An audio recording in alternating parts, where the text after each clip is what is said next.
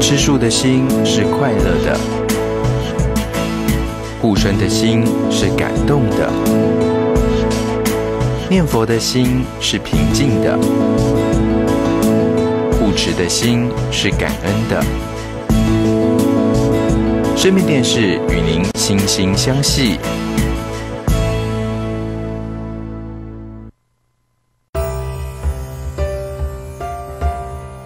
接下来，请收看般若讲座。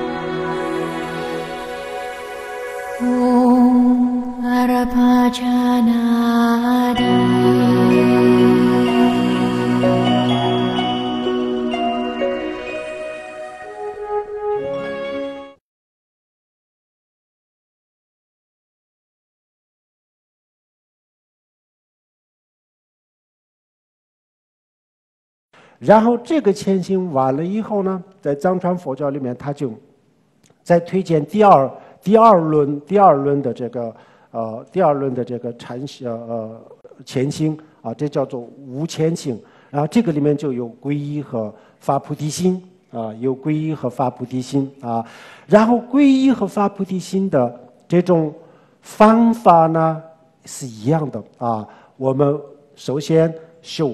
四无量心呐，慈悲喜舍四无量心啊，四无量心怎么样去思考呢？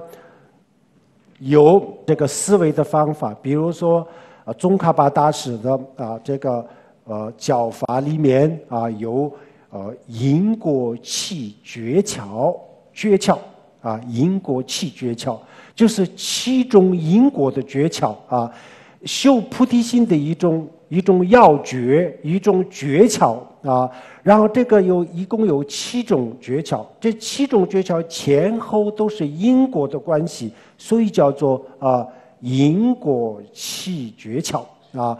这个因果气诀窍呢，这是藏传佛教的过去的这些大这些高僧大德，他们根据啊大乘佛教宪宗的这些。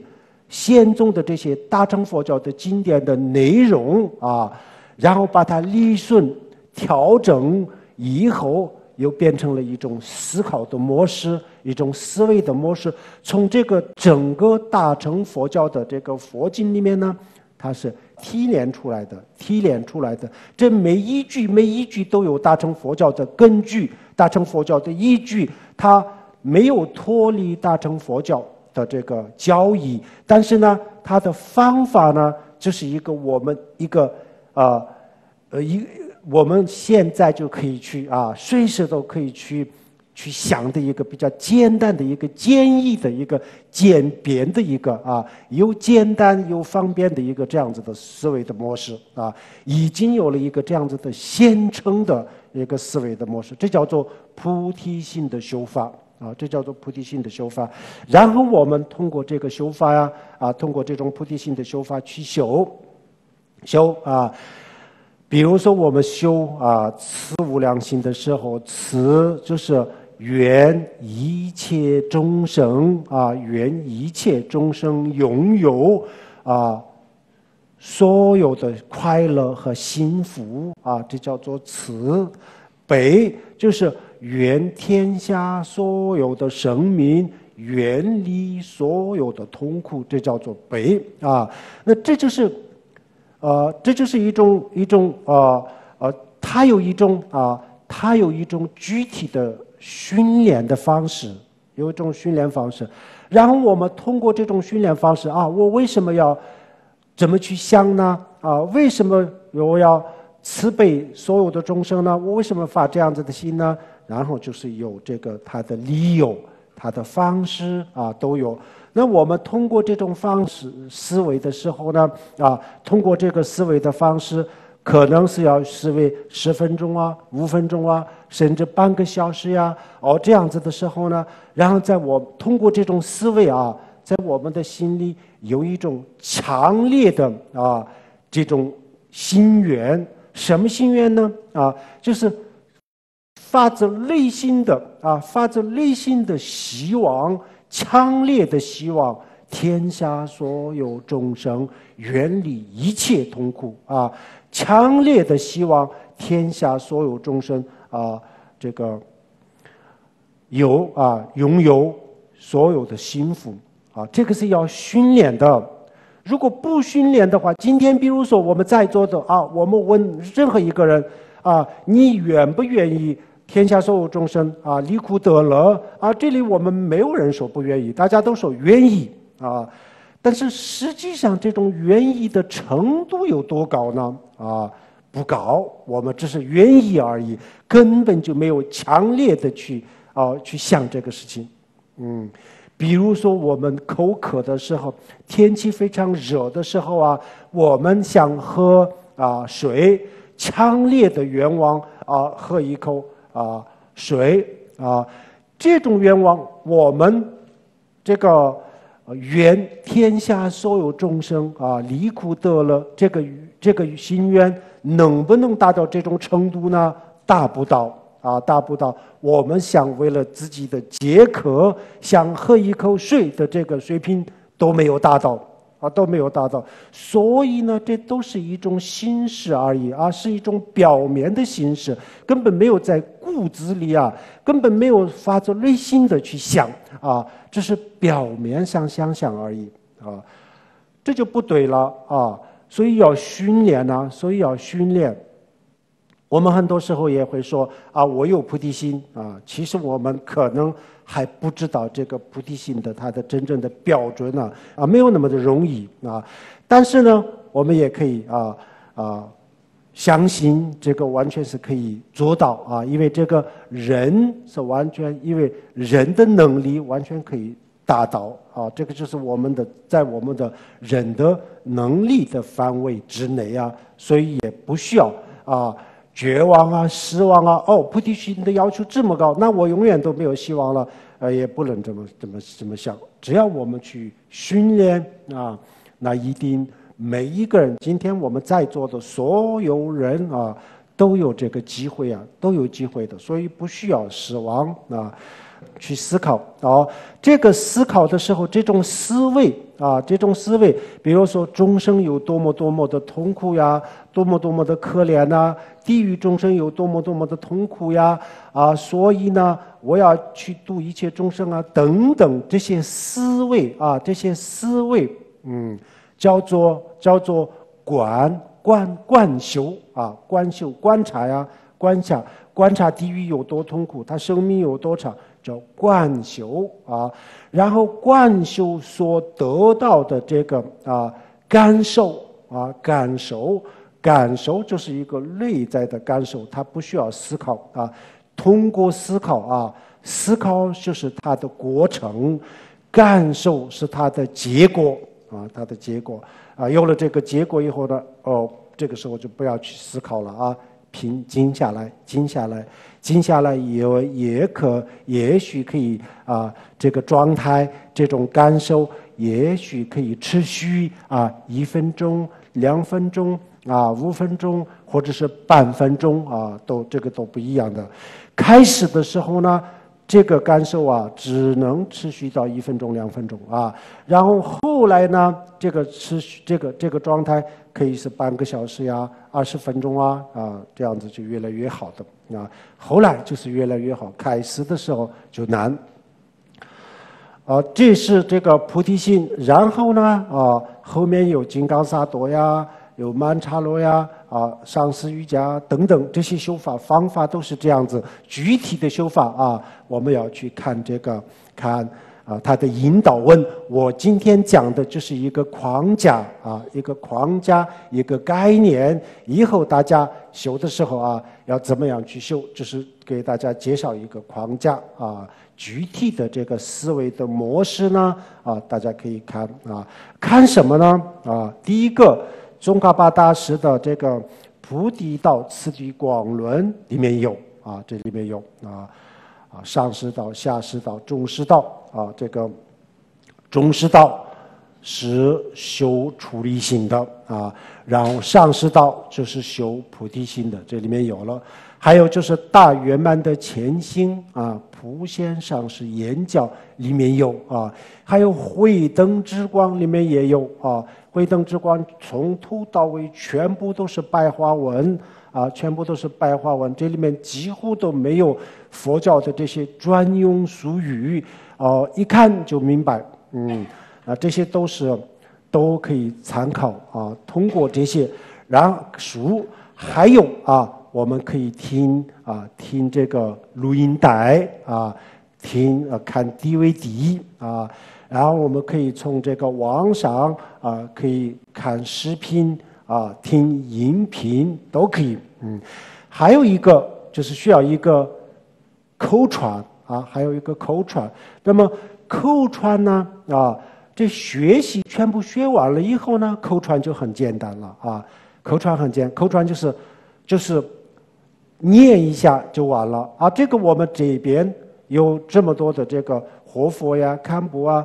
啊，仁波切啊，啊，这些中心呢，每一个中心里面都有，他们给你们啊串一下就完了啊，这很简单的事情，嗯。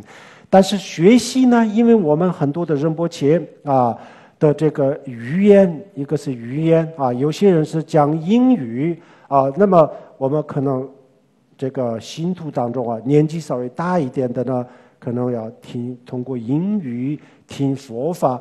可能也有一点点的难度啊，所以这样子就是还是有一些语言上的语言上的这个这个障碍和困难啊。但是我们听了这些录音带、看书啊、音频，通过网络学习好了以后呢，这些语言上的这些问题基本上就啊基本上都解决了啊，这个问题都基本上解决了。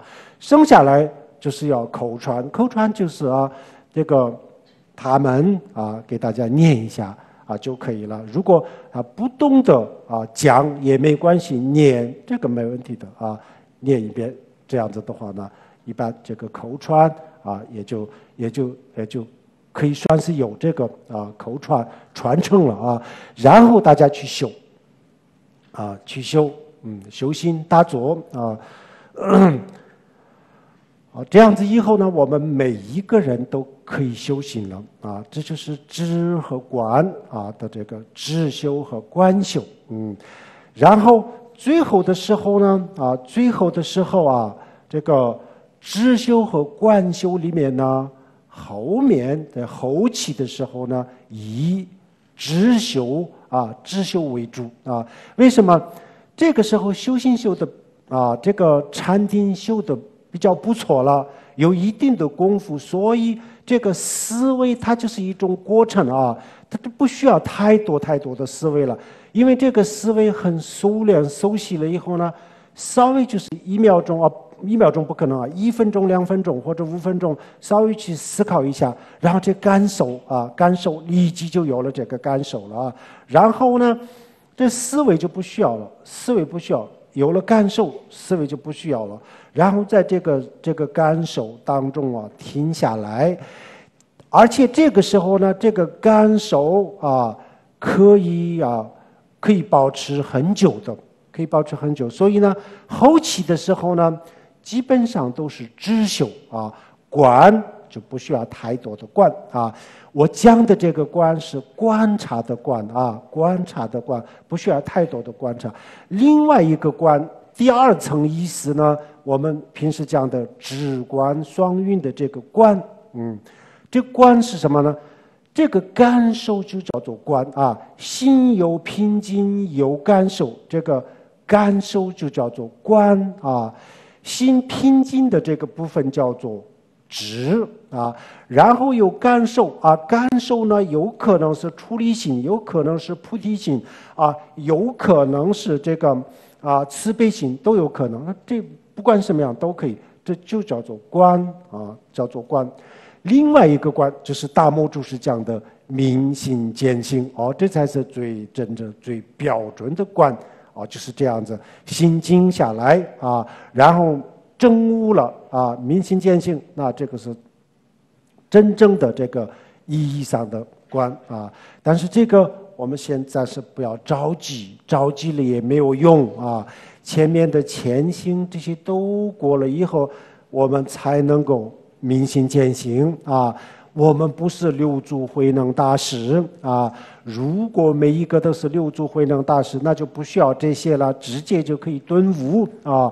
但是呢，啊，因为没有一个人的根基不一样啊啊，所以要要渐渐的啊，要逐渐的。嗯，虽然我们不是六祖慧能大师，但是呢，啊，通过这个外迁心和内迁心的这种方法，以可以。那我们每一个人都可以编编的六祖慧能大师啊！我们现在不是六祖慧能大师，但是呢，这些潜心的这些修行的方式，能够让我们变得六祖慧能大师啊！意思就是说，这些潜心啊、外潜心、内潜心的所有的潜心的修法修完了以后呢，然后再去听大圆满也可以啊。或者是再去听大手音也可以，或者再去听啊禅宗也可以啊禅花头啊去禅花头啊静下来念佛啊，然后去看念佛是谁谁在念佛，哎，一下子就是没有人在念佛啊，当下就是恍然大悟，有可能啊，这不是没有可能了啊，有可能，嗯。然后就是这个啊，念佛的时候啊，一般禅宗都是念佛，就是唱这个花头的啊，花头唱花头，然后立即啊，就心很平静的时候，在平静的状态中念佛，然后再回头啊。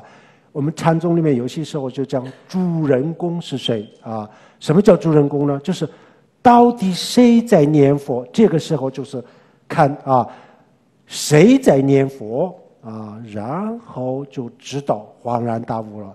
恍然什么恍然大悟了呢？是不是知道我的心在念佛呢？这个难道还要什么恍然大悟呢？这个所有人都知道的，不是啊。原来就是没有什么东西在念佛，这个就是空心呐啊。本来无一无，慧能大师的这个立即有可能立即就啊体会到了，那就我们成功了啊。这个是我们昨天讲的这个三个目标当中的最高的目标，成功了啊！这是秘法密宗的方法，它逐渐逐渐的让我们进步，慢慢的进步，慢慢的进步，把我们推到这个开悟的边缘啊，把我们推到开悟的边缘，然后一句话让你开悟，就是这个是他的方法。嗯，那么禅宗呢，他没有讲啊。这个四千心啊，五千心，他没有讲，它本来就是一个高端的一个顶尖的课程啊，佛教里面是一个顶尖的课程，它本来就是一个啊非常成熟的一个这样子的人听的法啊，听的法。像慧能大师这样子，他就不需要这些了啊。这是这个时候呢，我们有可能真悟啊，希望大家这样子啊。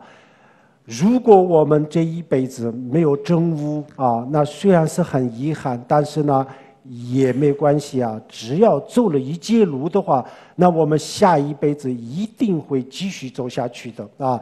下一辈子我们一定会啊，一定会来啊做这一辈子没有做完的事情啊，这个是肯定的，嗯。所以我们啊。当然希望这一辈子开悟啊！如果不开悟，但是我们往开悟的这个路啊上走了一界，那应该是很不错的了啊！我们最啊最害怕是什么呢？往这个开悟的这个路上啊，根本都没有去想过这个事情，然后内涵没有没有任何的东西，里面没有助力心，没有菩提心啊！呃，这样子的话，那是那这是最可怕的了哦！最后。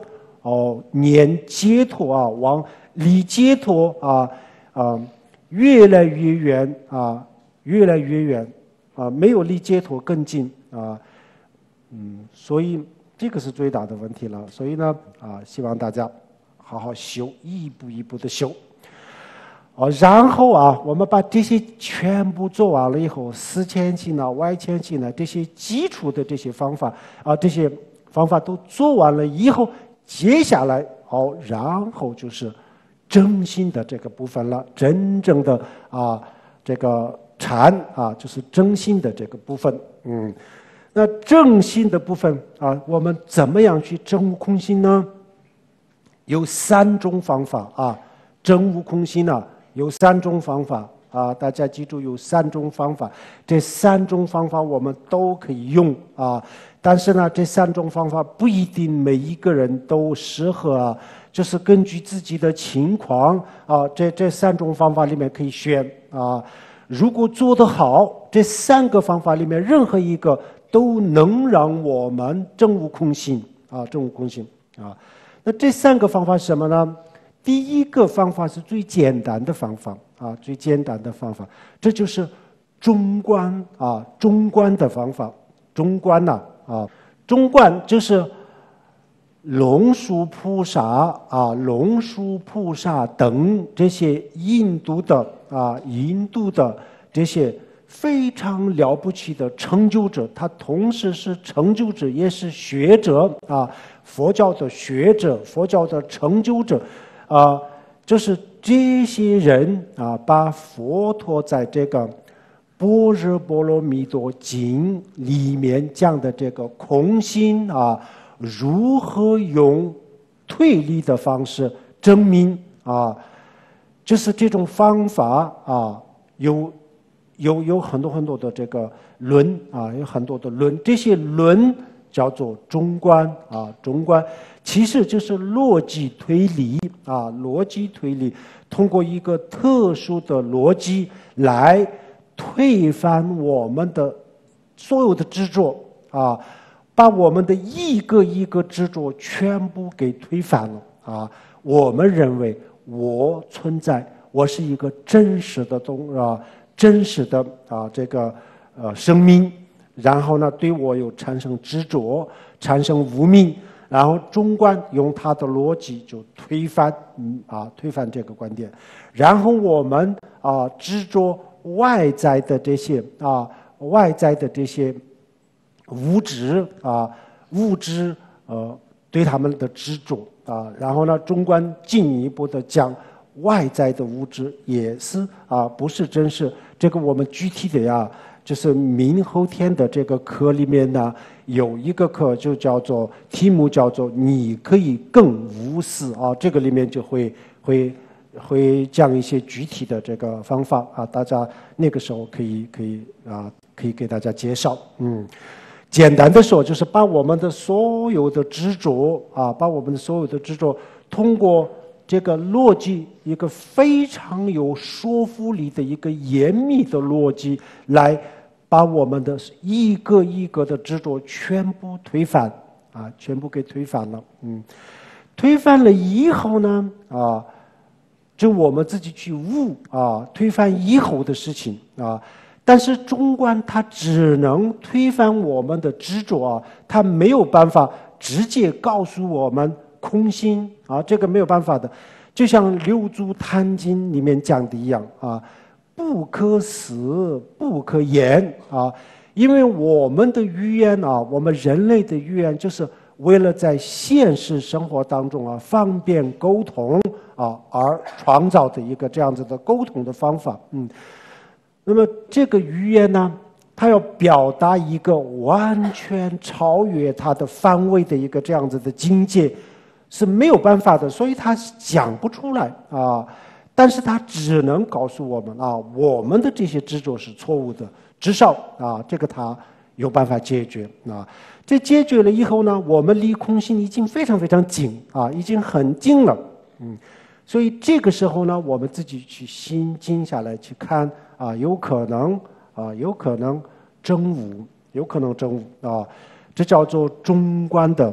啊，中观的修法，我们啊这样子，呃，前心、外前心和内前心修完了以后呢，一段时间当中啊，可能是一年左右、一年两年的时间当中，就去修四禅八定啊，心要平静下来，嗯，然后这个过了以后，就修这个中观的这个修法啊，心心平静完了以后呢，就通过中观的思维。啊，去打破我们自己的这些各种各样的这些啊这些执着，嗯，这个也得有一年到两年这样子的时间啊。这这个完了以后呢，那，具体的不可思不可言的东西，到底以什么东西去体会呢？啊，我们的眼睛看不见，耳朵听不见，语言也没有办法表达。不但是语言没有办法表达，而且我们的意识也没有办法思考啊。那既然是一个这么神的东西，那我们怎么去体悟呢？啊，那就是通过这些秘法里面的方法，或者是禅宗的方法啊，去自己去体会啊。那这个语言没有办法表达，但是呢，有办法证悟。禅大摩注释就讲啊，如人饮水，能乱自治。啊，这个时候我们自己体悟了以后就知道的，你没有办法表达，但是你知道啊，这是一个方法啊，这是第一个方法。第一个方法就是这个啊啊推理中观的推理的方法，这是一个啊。第二个方法什么呢？密法啊，密宗里面讲的这种七脉明点的修法，七脉明点的修法啊。七脉明点的修法，通过这种方法去啊证悟空性啊，各位要记住啊，气脉明点的修法跟空性有什么关系呢？啊，有什么关系呢？嗯，气脉明点的这种修法啊，比如说印度的瑜伽啊，现在的瑜伽呀。它也现在我们用来健身，全世界都有各种各样的瑜伽馆啊。它也修气脉明点，知道吗？它也修气脉明点，嗯，至少它会修气和脉，他也会修。为了健身啊，为了健身修气脉，嗯，然后呢，古印度的婆罗门啊，婆罗门他也会会修气脉啊，气脉明点，他是为什么修呢？为了神通啊，为了神通修气脉明点，修气脉明点，嗯，然后这些都是修气脉明点。然后呢，藏传佛教的秘法也修气脉明点啊。为了什么呢？为了证悟空心而修气脉明点，不是为了健身，不是为了神通，而是为了证悟空心修气脉明点。嗯，修气脉明点这样子的法啊。印度佛教里面有，瑜伽里面有，佛教里面有啊。不但是这个有啊，很多的这个佛经里面，我们常常讲的这些东西，在外道里面完全可以找到一个类似的东西。这是因为我们不了解啊，外道的经典，外道的经典啊，翻译过来的呢，目前在这个中文上的。就像奥义书，就是比佛陀还早啊！像奥义书、奥义乌史，呃，这样子的这个奥义书，啊，等等，还有就是在佛教的书里面呢，就是有些时候就描述一些呃这个外道的一些呃一些这个宗教的观点啊。除了这些以外，我们没有更多的这个资料可以参考啊。藏传佛教里面呢，就是就外道的这个讲的比较多啊。为什么要他要区分外不能走外道的路，要分开？所以把外道的很多很多的观点方法都描述的比较清楚，讲的比较讲的比较多啊。那外道啊，他也有讲有修七脉明点。那不但是外道讲七脉明点，外道讲空心啊。外道讲空心啊，比如说我们认为哦，这个气脉明点呢，因为外道婆罗门里面也有，所以这个是婆罗门的法啊。如果我们这么认为的话，那么那我们的般若波罗蜜多里面讲的空心也是外道的，为什么外道也在讲空心呢？啊，不就是这个逻辑吗？啊？外道讲类似的东西，把这个东西变成外道的东西，那这样子的话，那空心也是啊啊。我们啊，这个有一个呃，有一个一千三百多年前的一个印度的一个非常了不起的一个啊，这个啊成就者，叫做菩提萨埵啊，大堪布菩提萨埵啊，他。有一个中观啊，叫做《中观庄严论》啊，《中观庄严论》嗯，然后《中观庄严论》里有一个字节啊，他自己写的这个解释。这个字节里面呢，他就引用了很多外道的这个寄颂啊，他用的用了这个外道的寄颂干什么呢？他说啊，如果我们在不体会啊，不体会这个空心，不证悟的话啊，从字面上看，从字面上看，外道跟这个佛教的空心是没有办法区分的啊。外道也在讲不可言，不可是啊，六祖坛经里面讲的不可是不可言，我们绝对在这个。外道的经典里面完全可以找到一个一模一样的一句话啊，哦，外道的啊啊外道的经典里面，所以呢，就是这个菩提萨埵，他的意思就是说要证悟啊，如果不证悟，从表面上讲，外道讲一个大我啊大我，这个大我是一个不可思议的我啊，然后我们讲如来藏啊如来藏。啊，讲如来藏的时候，我们讲如来藏，佛性如来藏就是啊，常经卧乐，啊，那这个就更加的就像外道啊，外道就讲啊，外道的婆罗门就讲常经卧乐，这四个字就是外道的这个这个经典里面呢，有一模一样的东西了，就完全是一样的，啊，大家相信吗？去看看外道的书就知道了，啊。婆罗门里面呢，他讲不可思议的我，他就这个叫做不可思议的我啊。那我们不就有在讲我吗？啊，常就是永恒的，外道也在讲永恒的啊。净就是清净的，外道也在讲这个不可思议的我，就是永恒的、清净的啊。唱经我啊，我他就是讲这个叫做大我了，就是没有痛苦的。他就说这个唱经我了，不可思议的我是没有痛苦的。外道也是一模一样的讲啊，所以在外道里面有一个这样子的话啊，类似的相通的话。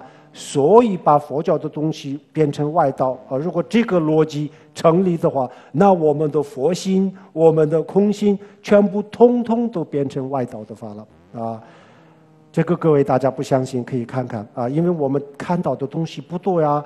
我们以为这个常经我乐啊，不可思不可言，我们佛教才会说，外道不会说，不是外道在说，但是有本质上的不一样啊，本质上的不一样。字都是一样，本质上不一样啊！这个进一步大家去了解，啊，就知道的。然后七脉明点也是这样子，外道啊修七脉明点，他认为这是一种火功啊，火功啊。我们平时做的这个火功，外道讲这个七脉明点是他认为这是他的一种火功啊。他是为了神通啊，为了神通，为了申辩啊，修七脉明点。嗯，然后呢，佛教就是为了啊，为了这个证悟空心啊，修七脉明点啊，这样子啊。那接下来啊，空心啊，这个七脉明点跟空心有什么关系呢？啊，这有什么关系呀啊？大家记住啊。七脉明点的意思是，它七脉明点实际上只是一个过程而已，它不是结果啊。结果他需要的达到的就是要真无空性的境界啊。那修气脉明点怎么能够达到这个空性呢？啊，我们通过这个七脉明点的修法，完全可以啊控制强制性的控制杂念，人的杂念。就是起到这个作用啊，这个大家可以这样子推理，比如说啊，比如说我们的身体的某一部分呢，受到外来的刺激的时候啊，打击撞击的时候呢，然后呢，我们的意识啊，它就失去知觉，失去知觉啊，晕倒啊，或者是打了麻醉药啊，它也失去知觉，这就是。充分的说明人体会直接影响到人的这个念头啊，人的身体啊，直接影响到这个人的这个情绪，还有就是人的啊这个意识，直接影响。所以呢，秘法就是通过一种七脉明点的训练的方式啊，强制性的把人的杂念停止下来啊。然后人的杂念都停止下来了以后呢，剩下来的是什么啊？剩下来就是这个如来藏没有杂念啊。这时候呢，可以啊证悟的。它的作用是什么？比如说我们仙宗里面啊，有一个非常温和的方法，就是四禅八定的修法，逐渐逐渐花了很长时间的功夫，然后呢，慢慢的把呃这个。杂念啊，停止下来，这叫做这个禅啊，杂念停止下来。然后藏传佛教的这个秘法呢，它通过气脉明点的一种训练的方式，强制性的啊，强制性的把这个人的杂念断掉了啊。两个都是结果都一样，方法不一样啊。我们四禅八定是通过温和的方法，通过一个很传统的保守的方法，逐渐逐渐的把杂念慢慢慢慢慢慢的减少，最后可以达到一个没有杂念的地步啊。然后七脉明点的修法呢，通过这种方法，强制性的人的杂念全部给听掉了啊。但是真悟空性呢，斯坦巴丁把这个人的。啊，杂念渐渐的停下来，这个是真悟空心吗？不是，是真悟空心的基本的条件啊。密宗的这个七脉明点，它强制性的人的杂念停止，但是这个是不是真悟空心呢？不是，这个是真悟空心的一个前提的条件啊。真正的真悟空心呢，通过这两个方法都可以啊。比如说，呃，这个。四禅八定的方法也好，七脉明点的方法也好，就是它的作用就是杂念停止了啊。然后杂念停止了以后呢，正悟空心是停止以后的事情了啊。没有杂念的时候去证悟，如果这个时候不证悟的话呢？那四禅八定也是没有用的，密宗的七脉明点也是没有用的，只是七脉明点修法而已，这是一个肉体的一个训练而已啊，也是没有用的。最终的真正的它的结果就是在这个后面啊。当七面明点的修法强制性的这种魔鬼式的训练，把人的这个所有的这个念头停下来以后，断掉了以后呢，然后啊。就去悟啊，当下的心的本性啊。六祖禅禅这个《坛经》里面讲啊，不思过去啊，不思未来，当下的心啊。现在我们通过七脉明点的方式啊，过去思维过去的这个停下来了啊，思维未来的这个杂念也停下来了啊。那么现在就只剩下当下的心了啊！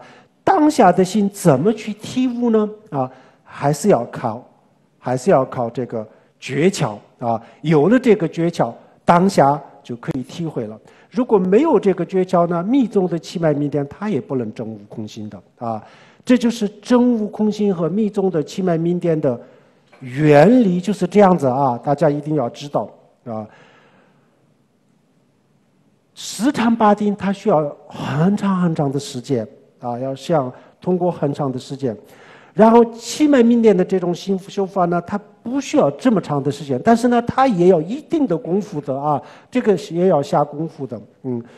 但是相对而言，就是稍微快一点啊。通过这种方法，它杂念全部大笑啊，全部断掉了啊。断掉了以后呢，嗯，它是不是？这个断掉了以后，是不是真悟空心？不是啊，这个是杂念控制了，杂念控制了，还没有真悟啊。杂念控制了以后是非常有可能真悟空心啊，因为没有这些杂念了以后呢，就很容易发现心的本性啊。这时候呢，去真悟心的本性啊，这个就是密法的这个方法，这叫做，这叫做。呃，气脉明点的啊一个方法，通过气脉明点的训练的方法，把人的这个强制性的啊杂念控制下来了。这个我刚才讲了啊，气脉明天跟人的念头有什么关系呢？肉体的训练难道可以控制杂念吗？哦，这个就是我们刚才讲的，就是麻醉药啊，就是外来的这个打击、晕倒。这些都说明肉体跟这个啊精神是有一定的关系的啊关系，所以所以就是通过肉体的训练，可以成功的可以控制啊人的这个人的这个杂念，可以强制性的把人的杂念断掉啊，断掉了以后呢，真悟和不真悟还是另外一回事啊。这真悟的几率是非常非常高的啊！但是如果没有其他的诀窍的话，那只是没有杂念而已啊，没有杂念而已，啊，不能真悟空性的。嗯，如果有其他的诀窍，那这个时候呢，因为强制性的把杂念停止下来了，停止了以后，你去啊看明心见性，这特别特别的容易啊。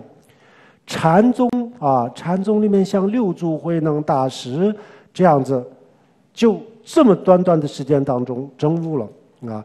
但是呢，其他很多很多人啊，在在禅修的地方有十年、二十年、三十年、十八年啊，这样子的功夫啊，也不一定能够证悟、能够体会，因为这个是个人的原因。所以这些诀窍真的是非常非常重要的。啊，这些方法，方方面面的、全方位的方啊，去证悟空性啊，方用方方面面的这些方法，能用得上的方法都用啊，目的就是证悟空性啊，目的不是气脉明点，目的是证悟空性，嗯，啊，目的不是四禅八定啊，不是四禅八定，目的就是，就是就是证悟。比如说，宪宗的真悟，明心见性，他前期阶段的时候需要需要这个四禅八定，证悟了以后不需要四禅八定啊，过河以后呢啊，这船就不需要了啊，过了河就这船不需要，啊。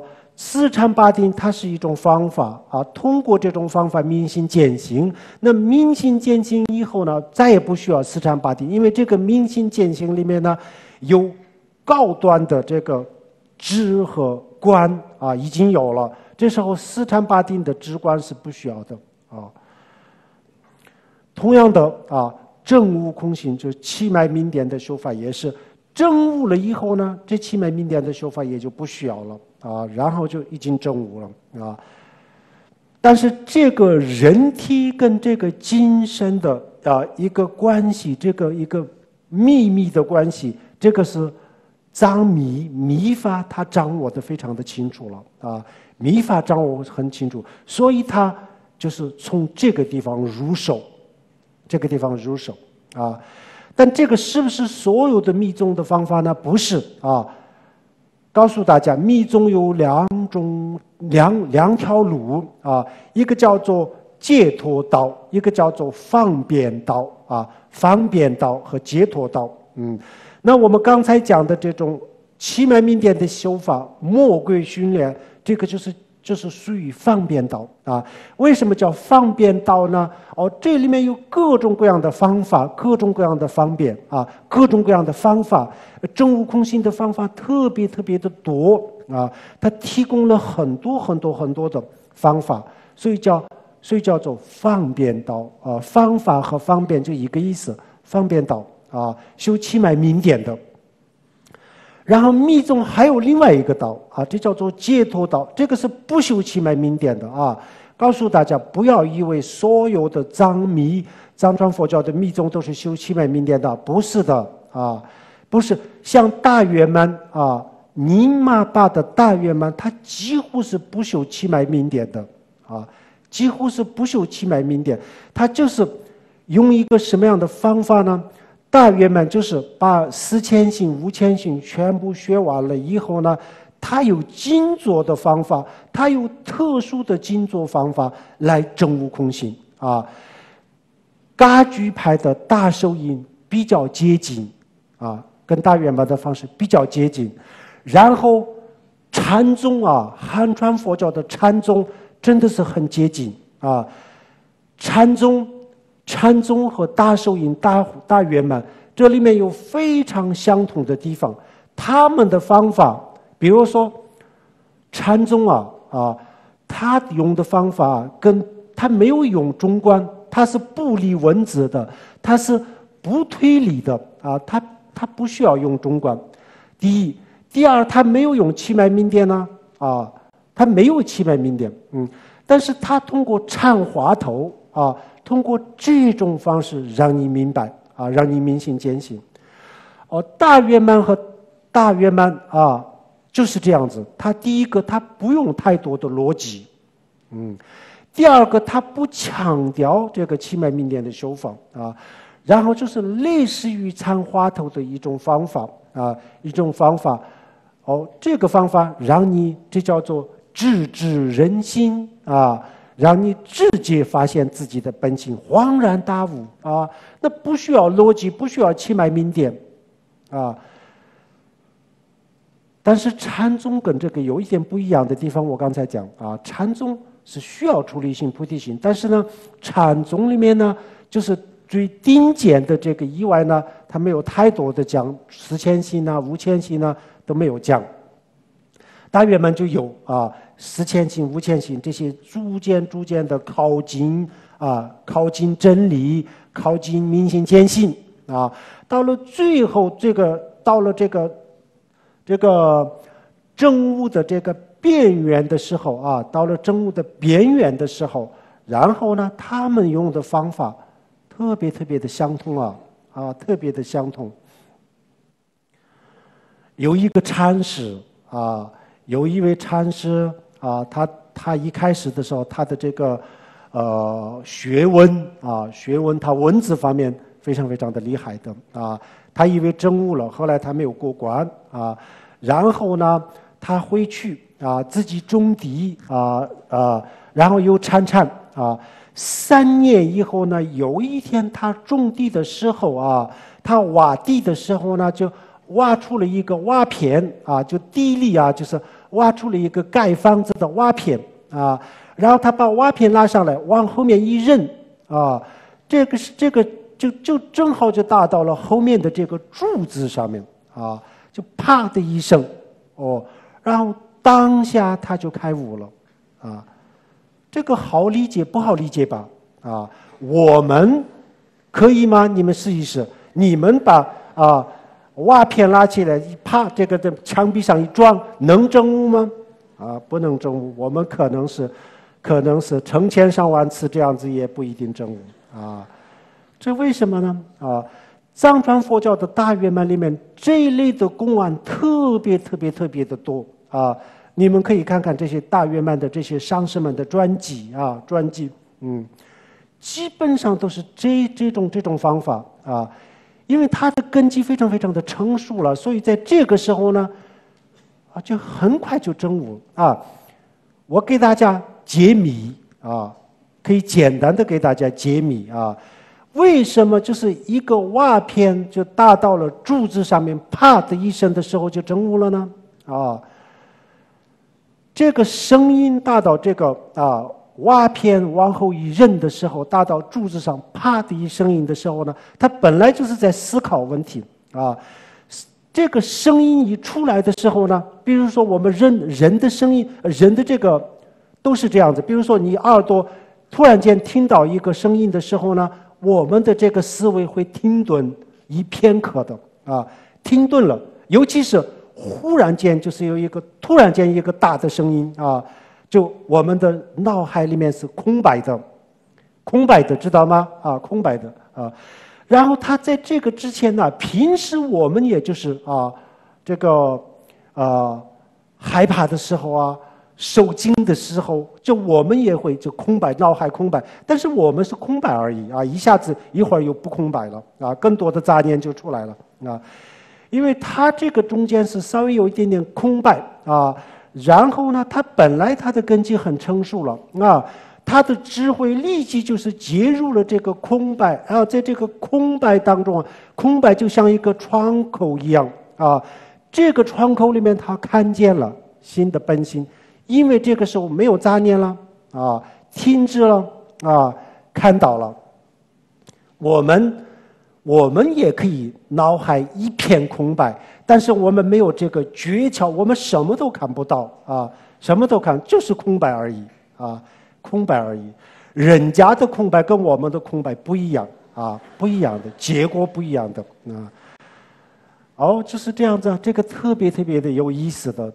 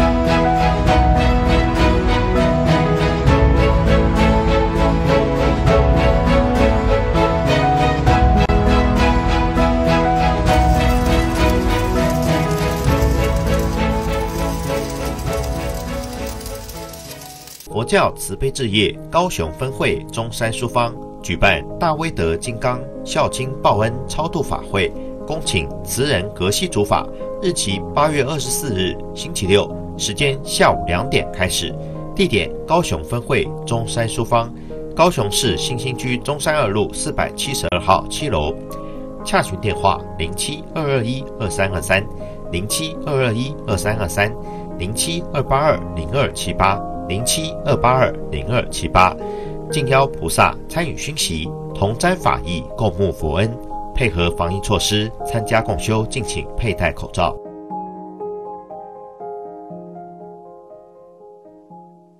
莲花生大士殊胜功德日，善行与恶行成十万倍。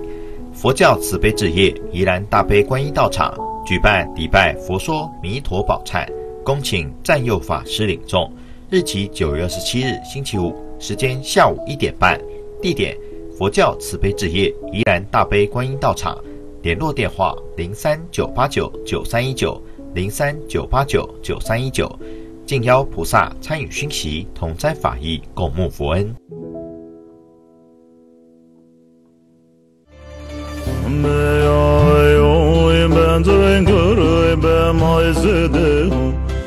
me oiu in ben drengoro in ben mosedeu me oiu in ben drengoro in ben mosedeu me oiu in ben drengoro in ben mosedeu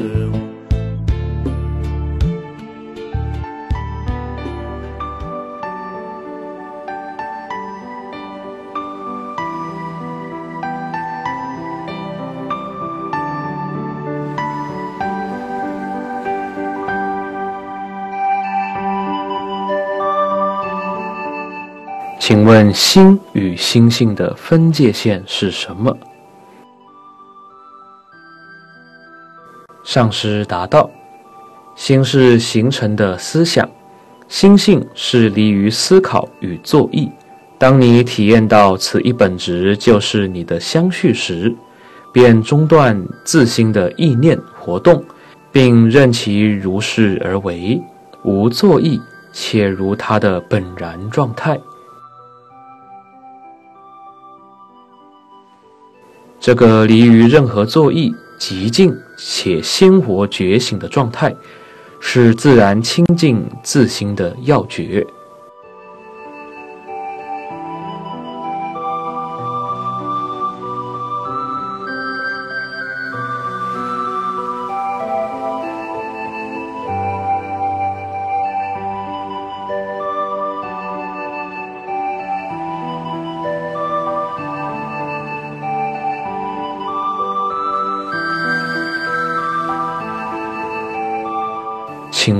片机与片机式的分界线是什么？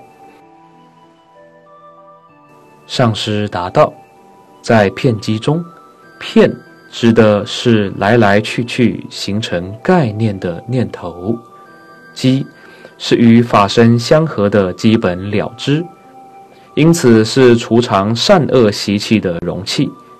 片机式。是从片机激起并升起为念头的心。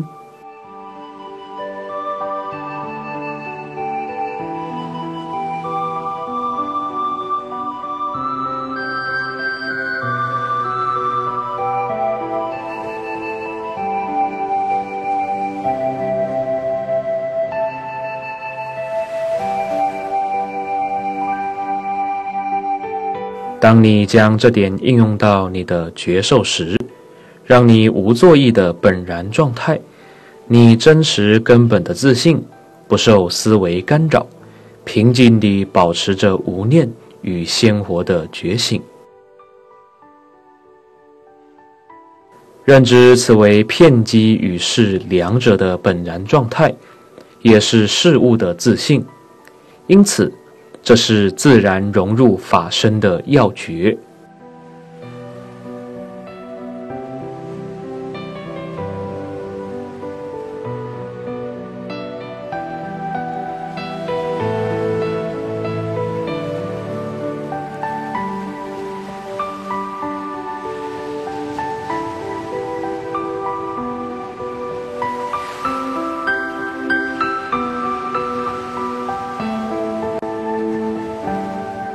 请问心与心事的分界线是什么？上师答道：心是思维的基础，心事是所有可能发生的念头活动，是促使心活动的风习。当你将这点应用到你的相续而体验时，不要被挑起情绪的风袭所煽动，而是让心保持无念，不由任何体性所构成，就有如酥油灯中不为风动的火焰。